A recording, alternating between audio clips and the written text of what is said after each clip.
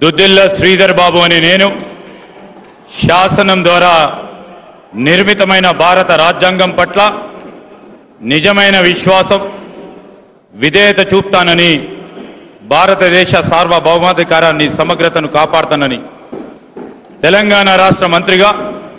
నా కర్తవ్యాలని శ్రద్ధతో అంతఃకరణ శుద్ధితో నిర్వహిస్తానని భయం కానీ పక్షపాతం కానీ రాగద్వేషాలు కానీ లేకుండా రాజ్యాంగాన్ని శాసనాలను అనుసరించి ప్రజలందరికీ న్యాయం చేకూరుస్తానని దైవ సాక్షిగా ప్రమాణం చేస్తున్నాను. అనే నేను దుద్దిల్ల శ్రీధర్ బాబు అనే నేను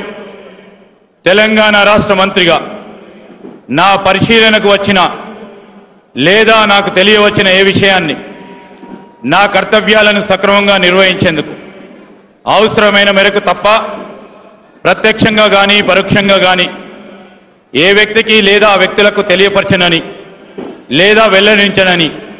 దైవ సాక్షిగా ప్రమాణం చేస్తున్నాను.